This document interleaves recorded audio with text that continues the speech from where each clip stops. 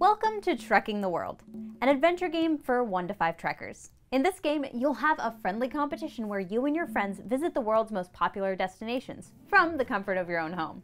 To win, prove you're the most experienced traveler by moving around the map and scoring these prestigious victory points. You'll be collecting victory points by visiting various destinations and collecting victory cards, by picking victory point tokens while touring various destinations, and by collecting various sets of souvenir cubes, as well as by collecting souvenir tiles, and finally by gaining region bonus tokens by collecting the last souvenir from a region. On their turn, each player will trek and choose. To move, the player must discard trek cards from their hand to move to another location. Each player starts the game with three of these cards. The game should be set up on the table and it should look something like this.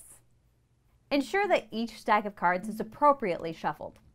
On the table there will be the main map surrounded by all the other components for the game.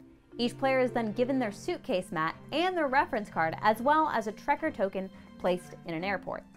There are also souvenir cubes on the map based on the player count. There are region bonus tokens placed throughout the board and there will be three separate stacks of cards and tiles around the board as well. The destination cards will be shuffled and the top four will be turned face up. The same goes for the Trek card deck. There will also be four souvenir tiles face up. However, these are never replenished. Every turn, players must discard at least one Trek card to move to a different location. Each Trek card has an icon and a number. The number is the number of locations the Trekker can move on the map. The icon is used to take a tour and claim destination cards, as well as activate journey cards. These cards are either one or the other. It's either two movement or one camera. It can never be used for both. To move, players must reveal one or more Trek cards from their hand with a combined value that equals exactly the number of connections separating them from the location that they plan on moving to. When they do this, they collect the souvenir cube from the location that they end their turn in. When collected, these go into their suitcase into the leftmost open slot. These will award the player points at the end of the game based on how full their suitcase is.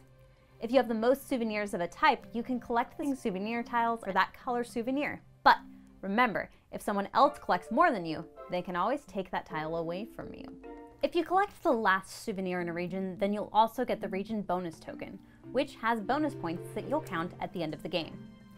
After you move, you must choose one of three other actions to take. You may draw two cards from the face-up Trek cards. You may take a tour of a destination using your Trek cards while your Trekker is in that destination, or you may journey and activate one of the available journey cards by revealing two Trek cards from your hand with matching icons. These are then discarded, and the player performs the action described on the journey card. The game ends when five of the six region bonus tokens are claimed or a player collects their fifth destination card. Then the player who triggered the end game finishes their turn and the game ends immediately. Players then add up their victory points from the region bonus tokens, as well as their victory point tokens, their destination cards toured, and their souvenir sets collected in their suitcase. There will also be a bonus awarded for the player with the most souvenir tiles collected. The player with the most victory points at the end of the game wins. And that's how you play Trekking the World. Tell us in the comments below where your favorite place to travel is, but please stay inside. Be bold, play games, be you. Happy gaming!